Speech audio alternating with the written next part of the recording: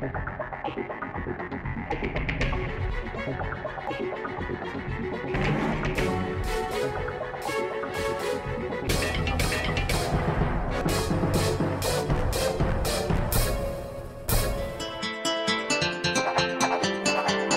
Dentro del segundo año de gobierno municipal, el Ayuntamiento de Amanalco está realizando obras que tienen las necesidades más apremiantes de la población.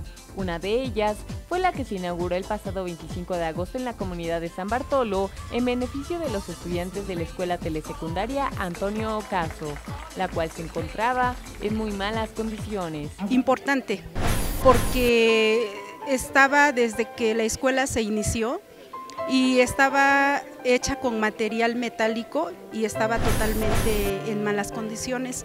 Cuando los alumnos llegaban a clases, el agua se metía mucho y lejos de entrar a trabajar, se ponían a sacar el agua.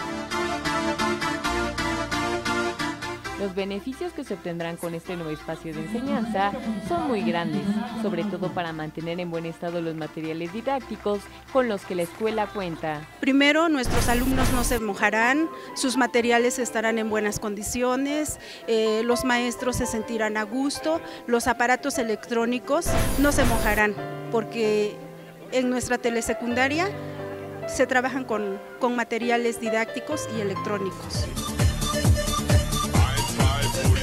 La designación de esta obra como una de las prioritarias es producto del acuerdo con la ciudadanía de la comunidad. Lo más, este, lo más necesitado fue lo, las escuelas y ahorita seguimos con los caminos. Ahorita en la próxima semana nos entregan el, la de la primaria, otra aula más.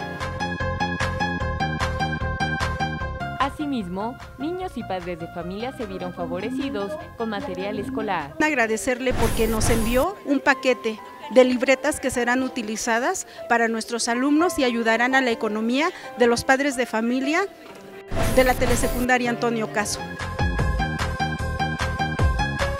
La construcción de esta aula tendrá como resultado el aprovechamiento máximo en los alumnos sobre el conocimiento impartido, pues podrán realizar sus actividades académicas de manera más cómoda y segura. Para Teburbana Noticias, Daniela Hinojosa Árago.